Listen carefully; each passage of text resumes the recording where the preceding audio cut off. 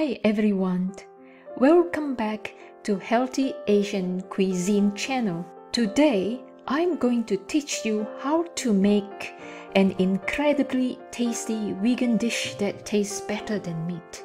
Check out the ingredients of the recipe here. Do you love mushrooms?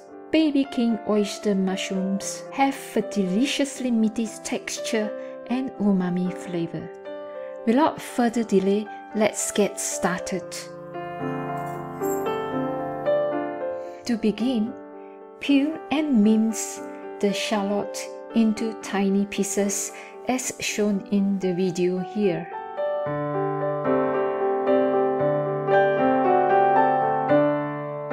Do the same thing with the garlic, then set both the minced shallot and garlic aside.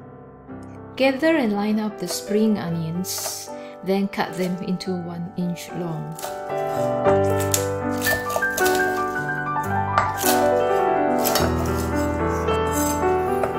Place the cut spring onions into a small bowl and set aside. For the sauce, place together the soya sauce, mirin, coconut sugar, sesame seed oil, and white pepper in a small bowl. Then stir to mix the sauce completely. To stir fry the dish, heat a frying pan over high heat. Once hot, add the oil. When the oil becomes slightly smoking, throw in the minced shallots. Then turn the shallots frequently for about 10 seconds.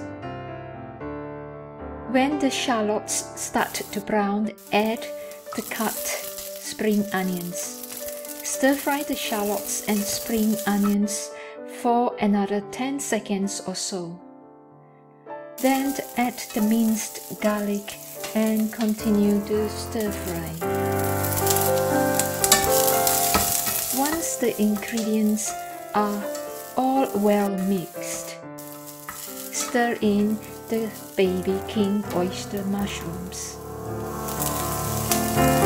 Stir fry the mushrooms with other ingredients in the pan for about one minute, then pour in the bowl of sauce and continue cooking for 2 to 3 minutes. Turning occasionally until the mushrooms are cooked. There you go, get your chopstick and enjoy these delicious baby oyster mushrooms with rice. I hope you enjoy watching this video.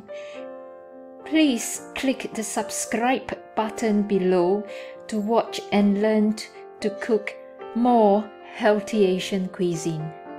Thank you for watching. Bye for now.